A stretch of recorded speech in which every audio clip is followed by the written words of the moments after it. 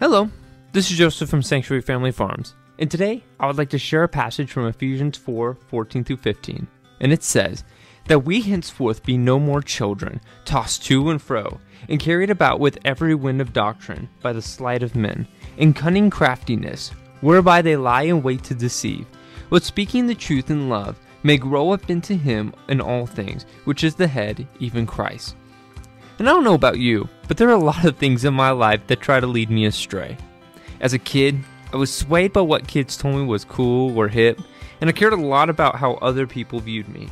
And what's funny is that while I've certainly grown from when I was a kid, I can still see that kid inside of me, wanting the approval of others and looking to the world to tell me what I want. But what really helps is when I go to God and ask what He wants from me. And it's great because we get God's approval to a certain extent because we are God's adopted children.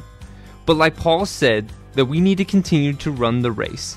That one day we will ho- hopefully hear, Thou good and faithful servant.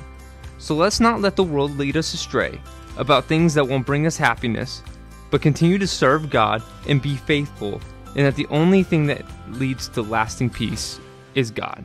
Have a great day.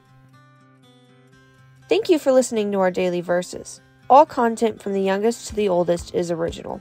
We pray that what God is working in our lives helps you as well. Have a blessed day and remember to spread the word to those around you.